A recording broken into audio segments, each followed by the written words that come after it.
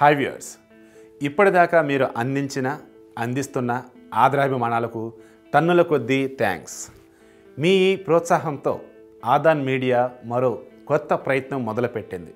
మీకు మరింత చేరువ కావడానికి మా ఆదాన్ మొబైల్ యాప్ను పరిచయం చేస్తున్నాం. మా ఈ యాప్ ద్వారా గల్లీ న్యూస్ నుంచి ఢిల్లీ న్యూస్ దాకా అమలాపురం నుంచి అమెరికా దాకా వైరల్ అయ్యే ప్రతి వార్తను ప్రతి నిమిషం మీ భాషలోనే మీ ముందుంచుతాం. మరింత వివరాల కోసం మా ఆదాన్ మొబైల్ యాప్ను డౌన్లోడ్ చేసుకోండి.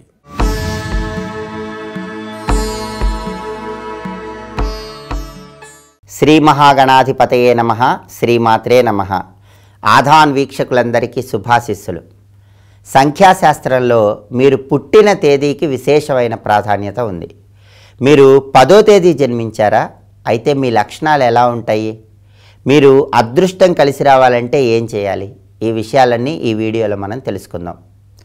పదో తేదీ పుట్టిన వాళ్ళు ఎవరైనా సరే స్త్రీలైనా సరే పురుషులైనా సరే వాళ్ళకి ఏదైనా కావాలనుకుంటే సప్త సముద్రాలు దాటైనా సరే దాన్ని తెచ్చుకుంటారు. వాళ్ళకి కావలసింది ఎలాగైనా సరే సాధించుకునే ప్రత్యేకమైన లక్షణాన్ని కలిగి ఉంటారు. అలాగే వీళ్ళు కూలీలా శ్రమించు రాజులా జీవించు అనే సూక్తిని తూచా తప్పకుండా పాటిస్తారు. అంటే పని చేసేటప్పుడు విపరీతంగా కష్టపడతారు. ఆనందించేటప్పుడు రాజులాగా ఆనందిస్తారు. అలాంటి ప్రత్యేకమైన లక్షణాన్ని కలిగి ఉంటారు.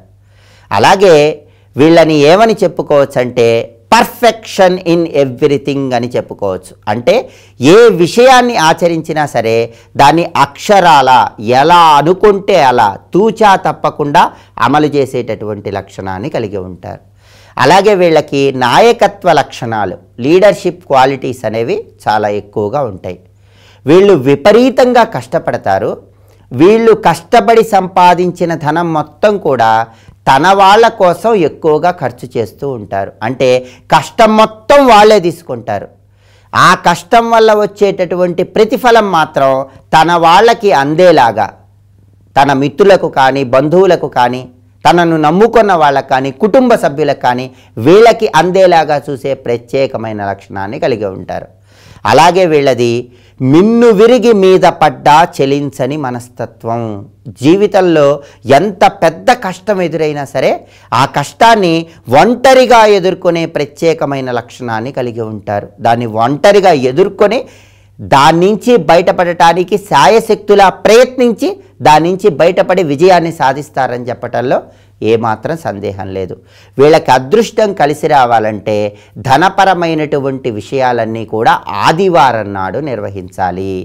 అలా నిర్వహిస్తే వీళ్ళకి జీవితంలో తొందరగా అదృష్టం కలిసి వస్తుంది అలాగే ఆదివారం రోజు గోధుమ పిండితో తయారు చేయబడినటువంటి పదార్థాలను వీళ్ళ చేత్తో ఎవరికైనా దానంగా ఇవ్వాలి. అలా దానం ఇస్తే వీళ్ళకున్న దోషాలు తొలగిపోతాయి.